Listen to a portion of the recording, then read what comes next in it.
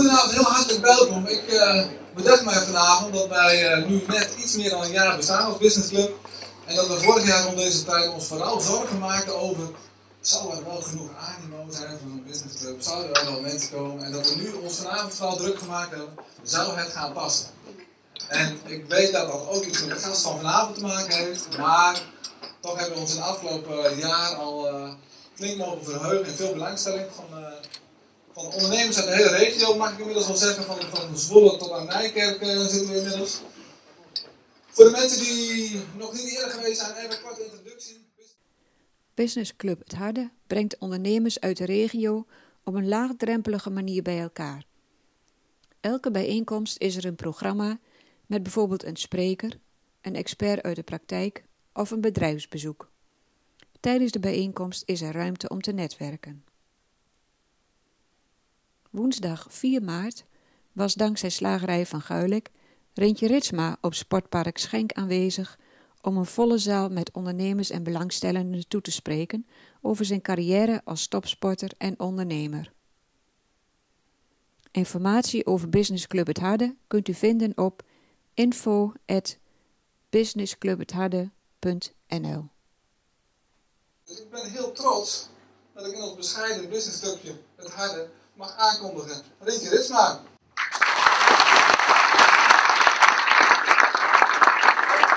Van namens mij ook uh, allemaal hartelijk welkom. Uh, ik wil wel even in het bijzonder uh, Jacques van Guidelijk noemen. Uh, is sponsor van ons. En die heeft uiteindelijk ook gezegd van vind je het leuk om, om hier een praatje te komen doen. Ik zei ja graag, waarom niet. Dus bij deze, Jacques van Guidelijk heeft het ook mede mogelijk gemaakt denk dat het goed is om, om te weten. Um, wat ga ik jullie vertellen? Nou, ik neem jullie eigenlijk mee um, ja, in mijn uh, eerste levensfase als, uh, als topsporter. Je hebt eigenlijk twee levensfasen. Een levensfase als topsporter. En daarna begint eigenlijk het gewone leven zoals iedereen dat ook kent. Want het leven als topsporter is hectisch. En dat begint heel rustig, spelende wijs. En dat ontpopt zich in ja, iets wat echt een, eh, een uitdaging is. En uiteindelijk is de uitdaging natuurlijk om, eh, om heel veel prijzen te winnen. Uh, nou is die uitdaging bij mij nooit bovenaan gestaan. plezier, dat stond me namelijk voorop. En iedereen die, die druk, druk werkt en een hele drukke baan heeft, die, die zal ook weten van als je geen plezier in je werk hebt, dan hou je het wel een paar jaar vol, maar nooit heel lang. Dus werk moet ook een soort van passie zijn. En passie is ook het schaatsen altijd voor mij geweest. En ik denk dat dat een van de enige redenen ook is die je kan noemen dat je het heel lang volhoudt. Want er werd een hele erelijst werd er opgenoemd, maar ik heb daar heel lang over mogen doen. Dus uh, ik heb een topsportcarrière gehad van uh, ongeveer 20 eh, jaar bij de, bij de senioren. Dus dan heb je ook lang de tijd om, om prijzen binnen te pakken. niet dat het daar veel makkelijker van wordt, maar juist moeilijker denk ik. Je moet op een, een, een heel lang tijdsbestek moet je continu uh, bezig zijn aan uh, vernieuwingen. Uh, doelen stellen blijft belangrijk. En dan uiteindelijk ja, kom je er op een gegeven moment ook achter dat, dat je langzaam ook weer de weg naar, naar beneden bewandelt. Want dat is inherent aan een hele lange topsportcarrière. We hebben hier Joandy, de vriendin van Rintje Ritsma en waarschijnlijk ook de drijvende kracht daarachter. Joandy, wat vond jij van de avond? Ja, ik vond het heel goed bezocht. Echt een uh, geweldige organisatie uh, van de Business Club zelf. Uh, de opkomst vanuit de club is enorm. 130 mensen bij elkaar krijgen op een door de weekse avond. petje af. En de sfeer is ontzettend goed. Mensen luisteren aandachtig. Ja. Ja, is heel mooi. Voor een club die nog maar een jaartje bestaat. En dan zo'n zo'n opkomst. Maar de spreker was natuurlijk ook een hele mooie. Ja, de spreker is mijn partner, Rintje. En uh, ja, daar ben ik trots op als hij uh, zijn presentaties geeft. Het is leuk om telkens weer iets nieuws te horen. En uh, omdat hij vanuit zijn hart spreekt. En vanuit zijn ervaring natuurlijk. Het is geen ingestudeerd verhaal, want hij heeft het zelf allemaal meegemaakt. Dus ja, het harde, daar ligt ook een gedeelte van zijn uh, trainingskampcarrière, zeg maar. Dus hij, hij vertelde vanavond uh, dat hij hier heel veel getraind heeft. Dat wist ik niet eens. Ja, dus voor mij is het ook telkens weer een nieuw verhaal. En dat, uh, dat, ja, dat, maakt, het, ja, dat maakt het verfrissend. Ja. Maar wat is jouw drijvende kracht achter deze grote, grote man? Want je weet het, achter iedere grote man staat een iets grotere vrouw. Ja, dat zeggen ze. Nou, wij zijn wel echt een team. Dus we vullen elkaar wel echt aan uh, uh, ja, in de zaken die we doen. We hebben samen een motorrace team, uh, Rintjes gaan motorrijden. En toen hij aangaf dat hij eigenlijk het liefst zijn eigen team wilde, heb ik aangegeven, nou dat vind ik hartstikke leuk, maar ik wil daar ook een taak in. Dus toen heb ik eigenlijk uh, het sponsorgedeelte, uh, zeg maar het managementgedeelte in de grootste zin van het woord opgepakt. Dus ik organiseer uh, de hospitality achter ons raceteam. Dus we hebben iedere race tussen de 80 en 150 gasten. En ja, met chef Cox en DJ en feest en een goed netwerk, een zakelijk netwerk en een informele sfeer.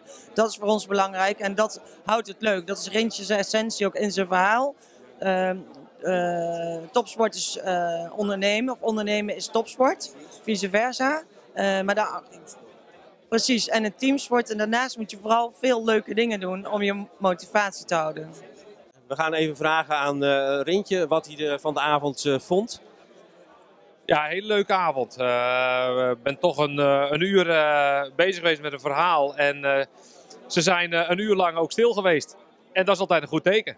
Ja, en de reacties waren ook uh, grappig met de verhalen die je vertelde. Wij, uh, jouw vriendin en wij waren verbaasd dat jij zoveel zweetdruppels hier had liggen. Ja, dat, eigenlijk kwam dat pas weer naar voren toen ik hier naartoe reed. Toen kwam in één keer weer ja, de jonge oranje periode met Leen Vrommer. ja, zaten we hier in de buurt in de jeugdherberg.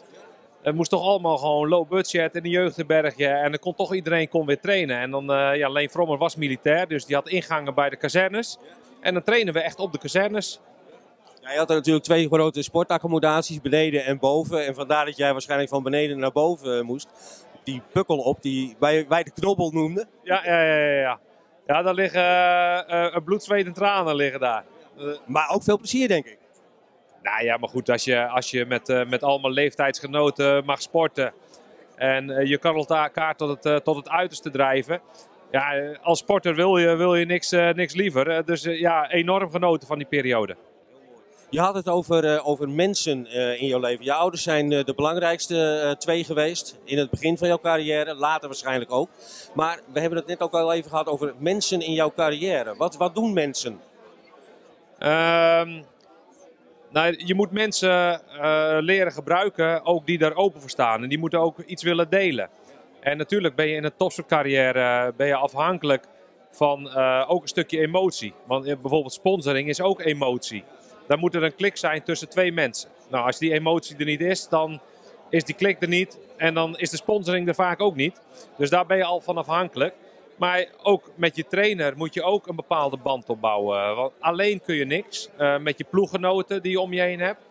Dan moet je ook door één deur moet je daarmee. En uh, dat moet ook zo blijven. Als je daar bonje mee krijgt, ja, dan moet je alles weer alleen doen. En dan maak je het zelf heel moeilijk. Dus het is, het geven en nemen en elkaar wat gunnen. En dat is gewoon heel belangrijk, ook in de sportcarrière. Als ik, eh, als ik jouw verhaal hoor, en ik lees ook eh, regelmatig de columns van, van Johan Cruijff, die je waarschijnlijk ook zult kennen. Die heeft het altijd, je moet een goed team om je heen bouwen, waar je alle kennis en kunde vandaan kunt halen, die je zelf misschien ontbeert, maar wel nodig hebt. Ja, dat is heel belangrijk. Kijk, je kan zelf veel weten, maar je moet altijd ervan uitgaan dat er ook anderen zijn die veel weten en misschien wel meer weten. En dat je daarvoor open blijft staan. En, en dat je die kennis altijd probeert uit iemand te halen. En, Precies wat jij zegt, je moet het halen en het, ze komen je het niet brengen. Nee, ze komen het niet vanzelf brengen. En uh, je moet dus signalen moet je, uh, ja, leren zien dat iemand er wel van af wil, van die kennis.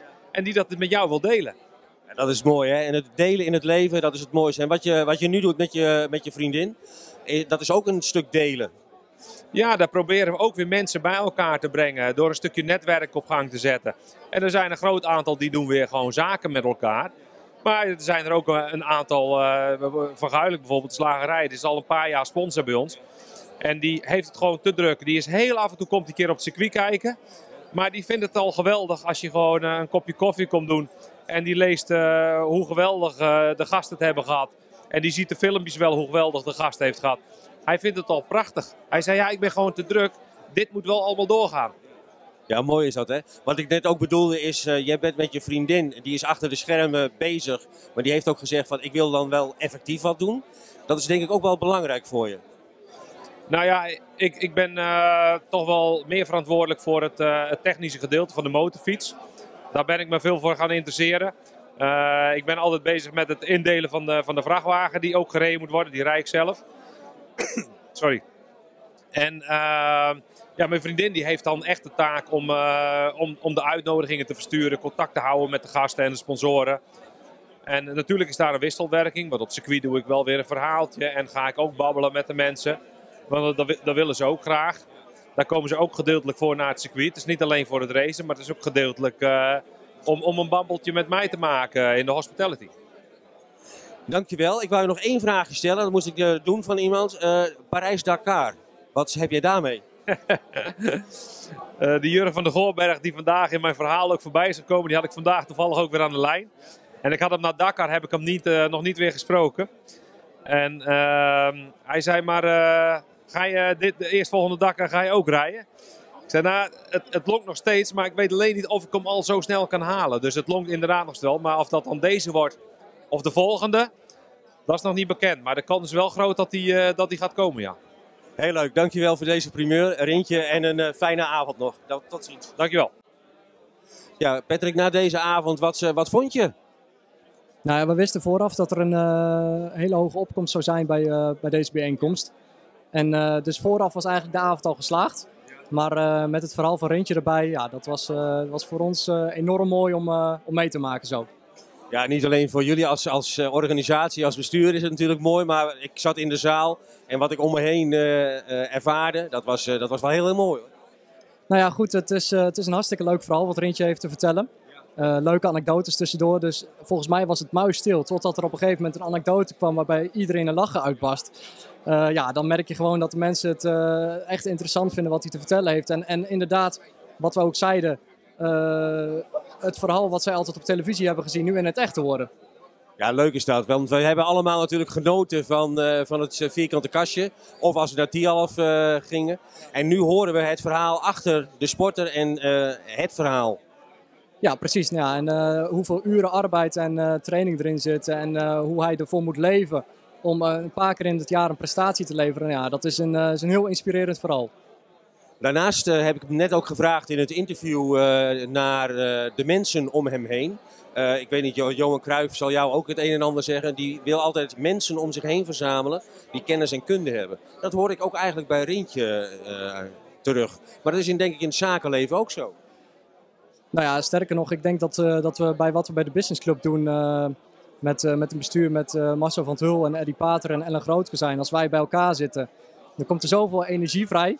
En, en, en dan raak je zo geïnspireerd dat ik eigenlijk van mezelf heb geleerd van, weet je, ik, ik hoef niet geprikkeld te worden. Je moet mij niet aansturen, maar als je, als je mensen motiveert en inspireert, dan komt er veel meer los dan, dan op welke andere manier dan ook. Mooi hè, dat deze avond dan zo mooi aansluit bij de beleving die jij ook zelf uh, er, ervaart. Ja, dat is enorm leuk om te zien. En het sportelement in het hele verhaal. Dat, dat past gewoon bij waar we met de Business Club ook een beetje bij horen. Bij de voetbalvereniging, waar we te gast zijn. Dus ja, dat is perfect.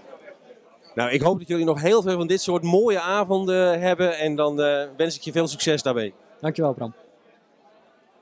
Jan-Peter, je bent vanavond uh, hier aanwezig geweest. Ik begrijp dat jij een, een redelijk drijvende kracht achter het bestuur bent. Met, met zakelijk, met, met al jouw bezigheden. Kun je daar eens iets over vertellen? Nou, uh, drijvende kracht, dat valt mee. Ik uh, ondersteun de Business Club af en toe uh, met een, nou ja, een bannetje, advertentie om wat grafische werkzaamheden voor de jongens te doen, inderdaad. Maar ik begrijp van Patrick, die we net hadden, dat jij toch ook best wel op het laatste moment nog ideeën mag invullen. Ja, nou ja, zo gaat het altijd in het zakelijk leven. Dat, je krijgt, op dinsdag krijg je een telefoontje en dan moet, woensdagochtend moet het klaar. Dus, maar dat doe ik graag, dat vind ik leuk. Maakt niet uit. Nou, we hebben vanavond uh, Rintje Ritsma hier uh, gehad. Uh, over ondernemen is de topsport. Maar als jij dat nu gaat vertalen, topsport is ondernemen? Ehm, nou ja, kijk, hij vertelt heel erg vanuit zijn beleving echt puur de, topsport. En er zitten zeker zitten daar raakvlakken in. met name als hij vertelt dat ja, vanuit de jeugd alles moet wijken. En er is maar één ding belangrijk, dat is topsport. Ja, ik denk dat de meeste ondernemers die succesvol willen worden, die zijn niet eens bezig met omzet halen. Die willen alleen maar eh, hun product maken.